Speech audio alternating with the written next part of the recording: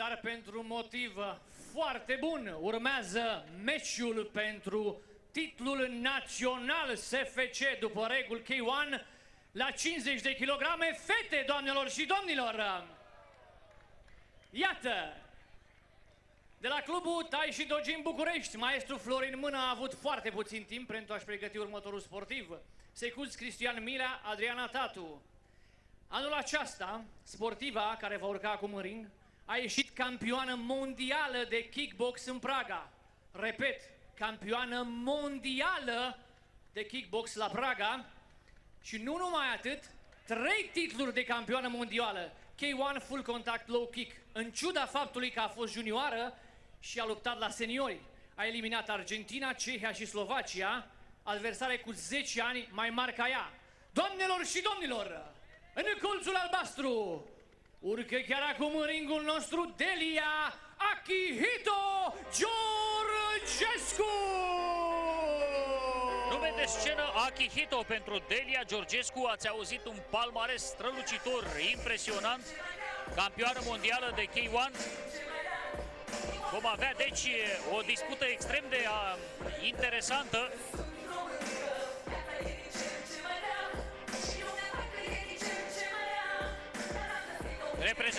Reprezentantele sexului frumos sunt uh, gata să intre în ring și să demonstreze tuturor că artele marțiale nu mai sunt de mult un teritoriu interzis pentru ele.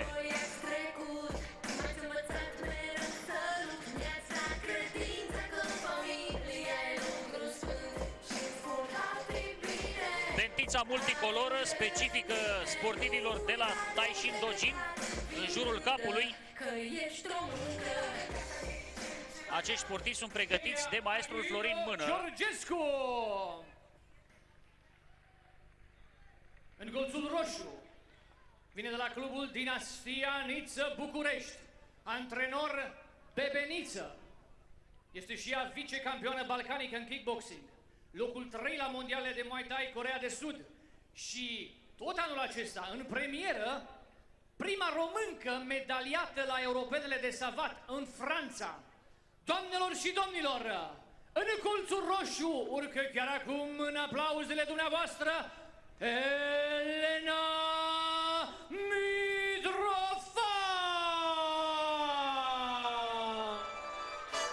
greu să-mi dau seama care dintre cele două poate fi considerată favorită.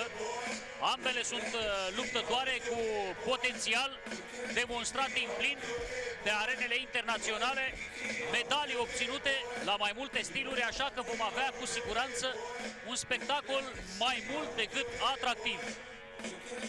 Delia Chichito Georgescu și Elena Mitrofan. Iată pe Elena Mitrofan, protecția dentară este obligatorie ca echipament, antrenată chiar de către promotorul acestei gale, Bebeniță.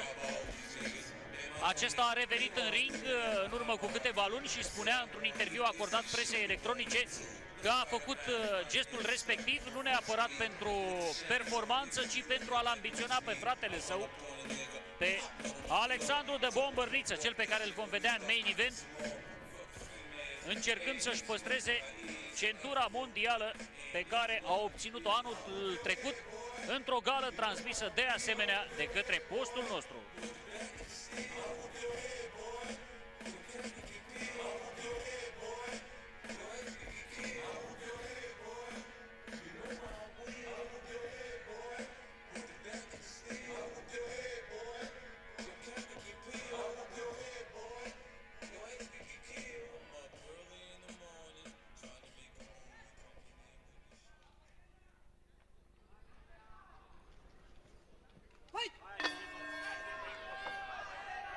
Start, să le vedem pe fete. Disputa începe cu lovituri uh, agresive de o parte și de alta. Fără menajamente până acum s-au implicat în luptă cele două.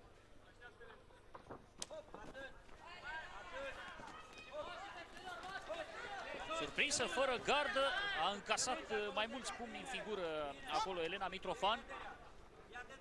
Singura posibilitate de a stopa activitatea ofensivă a Deliei Georgescu a fost să se apropie și să nu-i mai lase spațiu să folosească brațele. Deja mi se pare că un pomete este aproape deschis în cazul Elenei Mitrofan, vom vedea. Artele marțiale nu reprezintă decât uh, tactici și strategii sportive, ci și uh, complexe cunoștințe de anatomie, de fizică, bineînțeles de psihologie. Nu este nicio exagerare în uh, ceea ce spun. Ca să poți lupta cu eficiență, cu randament, trebuie să ai o pregătire multilaterală. Încearcă să revină în plasa liderei de până acum, Delia Georgescu. Elena Mitrofan este sportiva care a fost oarecum dominată și izbită fără milă de adversara sa, de Delia Georgescu. O primă rundă care se îndreaptă spre luptătoarea de la Taishin Dojim București. O avem acum uh, în imagine pe Elena Mitrofan, cea care este... Nu, este uh, Delia Georgescu. Elena Mitrofan a fost însă atenționată de către arbitru să nu renunțe și să nu uh, alerge, să accepte lupta în mod deschis. Un low kick executat pe coaxă de Delia Georgescu. Lovituri pe contre foarte frumoase și de o parte și de cealaltă.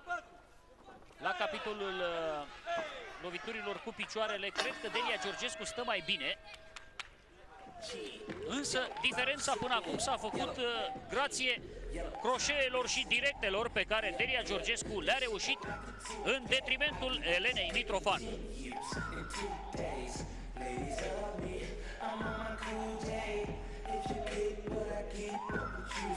Iată pe Delia Georgescu în imagine. Urmează runda a doua, runda de mijloc. Acum o avem și pe Elena Mitrofan în prim plan. Urmele confruntării încă nu se văd pe figură. La un moment dat ni se păruse că ele ar fi cedat în zona obrazului, dar uh, se pare că nu este așa.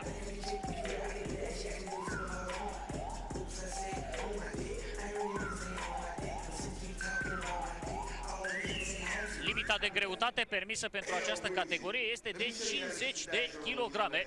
Iată aici ce lovitură frumoasă a reușit uh, Delia Georgescu. O directă care a explodat în obrazul adversarei sale. S-a dictat reluarea confruntării. Încă o dată, activitate intensă din partea celor două Tare cu tibia la corp. Hey!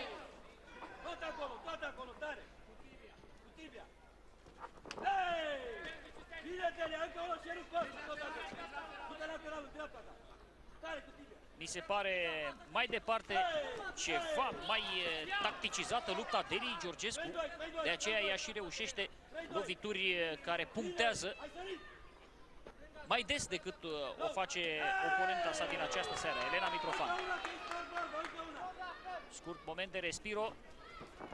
A încercat un procedeu spectaculos. Până la urmă, pumnii uh, Denii Georgescu au reușit să spargă o gardă oricum destul de penetrabilă prezentată în această seară de Elena Mitrofan. Relaxat, relaxat, relaxat. Unde mort acum? Hey! Încă una! Invitate la luptă de către arbitrul de ring, același Marian Sândurescu.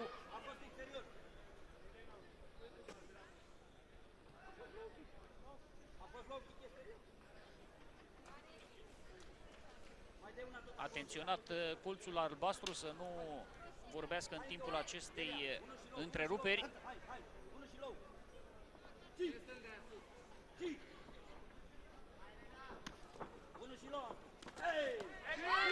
Pe contră, o directă de stânga executată de Delia Georgescu, apoi a fost și o aeriană, o lovitură care nu și-a atins ținta, după care cu tibia aceeași Delia Georgescu.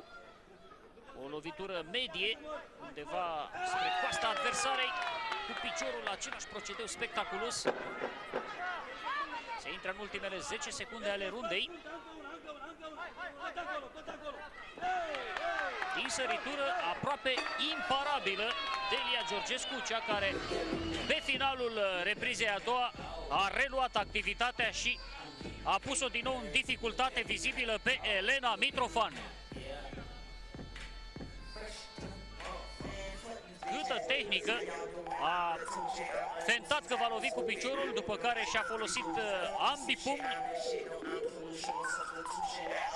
Delia Achitito Georgescu a făcut un pas mare spre obținerea victoriei în această seară și implicit a titlului național în versiunea SVC.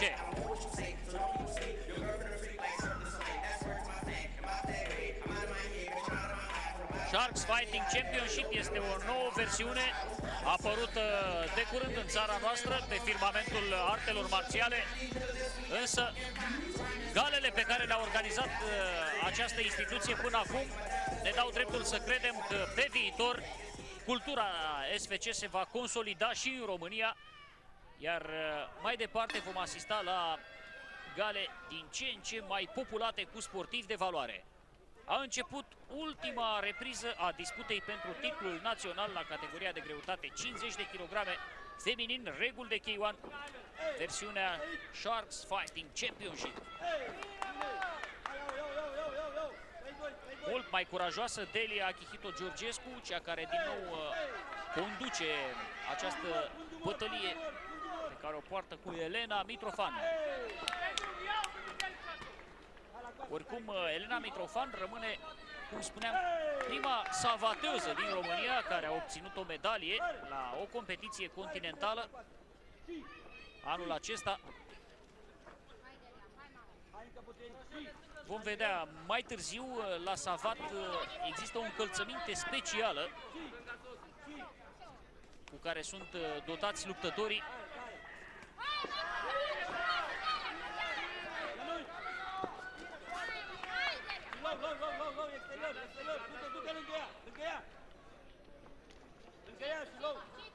Cred că această luptă poate avea un singur învingător dacă judecăm după raportul de forțe din ring, după ce am văzut până în momentul de față. Delia Akihito Georgescu, iată ce lovitură, o talpă în figura Elenei Mitrofan. O lovitură care a zdruncinat-o efectiv pe Elena Mitrofan, cea care e imposibil să se apere acum. Dacă o prindea cu acest croșeu de dreapta Delia Georgescu, puteam să vedem și un knockout. A avut un pic de șansă Elena Mitrofan pentru că s-a retras la timp. Oricum, a lovit uh, cu pumnii Delia Georgescu, directe și croșee care și-au atins ținta. Ultimele secunde și punct final al luptei pentru titlul național la K1 SVC. Categoria de greutate 50 de kg feminin anticipează decizia juriului Delia Akihito Georgescu. Iată aici momentul poate cel mai spectaculos al rundei, finalizat cu acel croșeu de dreapta pe care Elena Mitrofan nu l-a văzut, dar l-a resimțit cu siguranță. Iar acesta este Vasile Niță, cel care a strâns în jurul lui uh, o dinastie, așa cum se numește de altfel și clubul pe care îl patronează.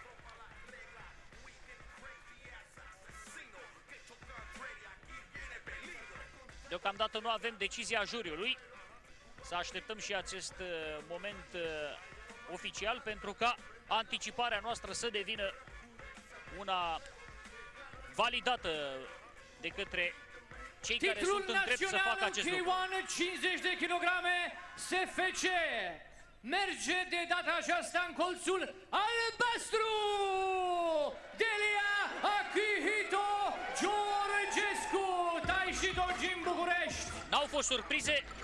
Taishindo Gym București își adaugă în palmares în vitrina clubului un alt titlu național grație evoluției eh, indubitabile pe care a pus-o în scenă în această seară Delia Akihito Georgescu, meritoasa câștigătoare, cea care a dominat eh, quasi total, aș spune, disputa pentru centura națională contra Elenei Mitrofan.